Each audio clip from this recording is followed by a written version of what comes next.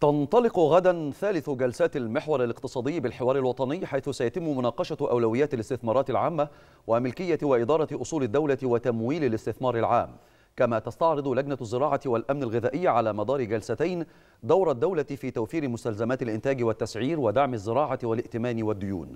كان المحور الاقتصادي قد عقد في ثاني جلساته الثلاثاء قبل الماضي. أربع جلسات ناقشت أسباب تراجع مساهمة الصناعة بالاقتصاد المصري وتحديات القوى العاملة المصرية وكذا مناخ الاستثمار المحلي والأجنبي بين الواقع والفرص والتحديات.